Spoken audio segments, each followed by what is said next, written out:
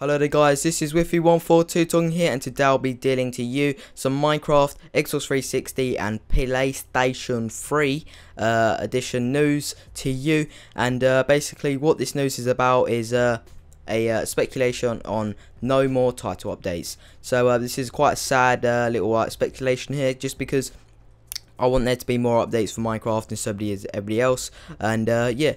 So what there was this actually like meeting and like question kind of a thing and uh, basically what top this question popped up and uh, there's the two people that was answering these questions were uh, people that make Minecraft and uh, so it's not confirmed it's, as I said it's a speculation it's not true um, but this is like what I think and it basically it is on screen now it says, it says it's unlikely that developers are going to squeeze much more out of the Xbox 360 resource wise do you envisage, or yeah, I think that's how you say it, a uh, scenario where you can't add anything, uh, anything to those versions because the platform can't handle it. So basically, what this is uh, kind of saying is uh, no more updates, no more stuff like that for the Xbox 360 and uh, PlayStation 3. And uh, this is a reply that makes sense totally from them to people that make Minecraft. I know there's a whole bunch of team and it's not confirmed. It's definitely not confirmed at all. So uh, leave your comments down below. Do you think it's uh, like most likely true? And uh, yeah, because you can't really exactly say if it's true because there's not much information in that sentence, but there is a hint towards uh, no more updates as you can see. It's basically green with uh, resource wise there's no more and it can't handle it, all that stuff.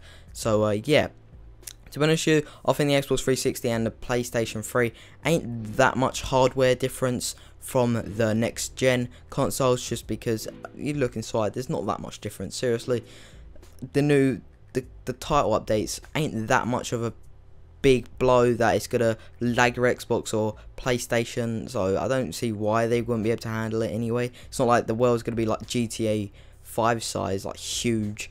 And look Xbox 360 and PlayStation 3 handle that. you just have to install it. Like it's really long load up, if you know what I mean. Every time you go on GTA, but yeah, maybe these, I, I wouldn't mind doing that on Minecraft if it's much good. It's much better. But yeah, basically that is uh that. And uh, what do you think of this uh, news? It's like leaked information kind of thing here, because uh, I would like to know your opinion. And uh, to be honest with you the uh, Xbox 360 and uh, PlayStation 3, most people are still on it, and if Minecraft stopped making uh, updates, title updates, and all that for the them consoles, then uh, it's going to be really shocking because they're stopping quite early because nobody's actually really got the next gen consoles yet. People are still waiting for Christmas.